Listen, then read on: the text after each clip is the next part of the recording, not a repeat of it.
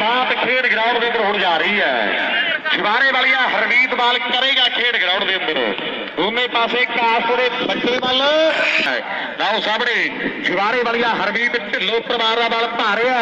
ਉਧਰ ਕਹਿੰਦੇ ਸੁਦੀਪਾ ਵੀ ਭੱਜਿਆ ਆਉਂਦਾ ਮੇਰੇ ਵੱਲੋਂ ਪੂਰਾ ਗੁੱਜਰ ਵਾਲਾ ਆਹ ਕਹਿੰਦੇ ਭੱਜਿਆ ਆਉਂਦਾ ਖੇਡ ਗਰਾਊਂਡ ਦੇ ਅੰਦਰ। ਬਾਲ ਪੈਰੀ ਹੈ ਦੁਨੀਆ ਦੇਵੀ ਆ ਪੰਜਾਬ ਦਾ ਵੱਡਾ ਵੇਲਾ ਬਾਲ ਪਾਉਣ ਦੇ ਲਈ। ਸ਼ਿਵਾਰੇ ਵਾਲੀਆ ਹਰਮੀਤ ਪੂਰੀ ਤਿਆਰੀ ਦੇ ਵਿੱਚ ਬਾਲ ਮੇਰੇ ਮਿੱਤਰੋ ਐਰ ਪਹਿਲੀ ਬਾਲ ਤੇ ਪਹਿਲੀ ਬਾਲ ਜਿਹੜੀ ਲਾਈਨ ਹੈ ਪਹਿਲੀ ਬਾਲ ਜਿਹੜੀ ਖੇਡ ਗਰਾਊਂਡ ਦੀ ਲਾਈਨ ਹੈ ਭਾਈ ਡਾਊਨ ਸਾਈਕਲ ਦੇ ਪੁੱਛੀ ਨਹੀਂ ਕੀ ਹੈ? ਮੰਗੂ ਪੁੱਛੀ ਕੀ ਨਾ? ਦੀਪਾ ਠੀਕ ਹੈ ਬਈ। ਧੰਨਵਾਦ ਮੰਗੂ ਦਾ। ਉਹ ਦੀਪਾ ਨਾਲ ਸਾਈਡ ਤੇ ਉਹ ਕੋਟੜੇ ਵਾਲਾ ਮਾਰ ਉਹਦੇ ਮਿੱਤਰੋ। ਇਹ ਆ ਕੋਟੜੇ ਦਾ ਮਾਰ ਜਿਹਨੂੰ ਜਾਣਦਾ ਕੁੱਲ ਜਹਾਨ, ਜਿਹਦੇ ਚਰਚੇ ਆਏ ਆਵ ਇਹ ਆ ਕੋਟੜੇ ਦਾ ਮਾਰ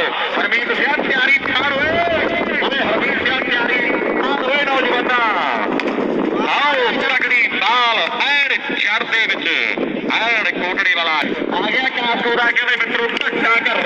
ਧੱਕਾ ਕਰ, ਸਾਹਮਣੇ ਆ ਗਿਆ। ਹੈ ਕਾਸਕੋ ਦਾ ਧੱਕਾ ਕਰ, ਸਾਹਮਣੇ ਆ ਗਿਆ। ਹੈ ਵਾਸ਼ਿੰਗ ਮਸ਼ੀਨ ਦਾ ਸ਼ੋਰੂਮ ਚੱਲਦੀ ਆ ਦੁਨੀਆ ਮਾਰ ਤੋਂ। ਹਰਮੀਤ ਨੂੰ ਵੱਡਾ ਤਜਰਬਾ ਹੈ। ਹਰਮੀਤ ਵੀ ਦਿਮਾਗ ਲਾਉਂਦਾ ਆਉਂਦਾ ਟੀਵੀ ਜੀ ਪਾ ਕੇ ਸੋਚਦਾ ਆਉਂਦਾ ਵੀ ਕਿਹੜੀ ਬਾਲ ਪਾਉਣੀ ਹੈ ਕਿੱਥੇ ਦਿਮਾਗ ਲਾਉਣਾ ਹੈ ਵਾਹ ਓਏ ਹਰਮੀਤ ਵਾਹ ਓਏ ਹਰਮੀਤ ਹਰਮੀਤ। ਕਮਾਲ ਹੀ ਆ। ਹਰਮੀਤ ਦੀਆਂ ਬਾਲਾਂ ਤਕੜੀਆਂ ਐ। ਤੇ ਮਾਂ ਨੇ ਵੀ ਰੋਕੀ ਆ। ਵੀ ਬਾਲ ਬਾਕੀ ਤਕੜੀ ਆ ਢਿੱਲਵਾਂ ਦੇ ਮੁੰਡੇ ਦੀ। ਬਾਲ ਬਾਕੀ ਤਕੜੀ ਆ ਢਿੱਲਵਾਂ ਦੇ ਮੁੰਡੇ ਦੀ। ਲਾਓ ਸਾਹਮਣੇ ਬਾਲ ਹਰਮੀਤ ਦੀ ਫੇਰ। ਤੇ ਉਧਰ ਕੋਟੜੇ ਵਾਲਾ ਮਾਰ।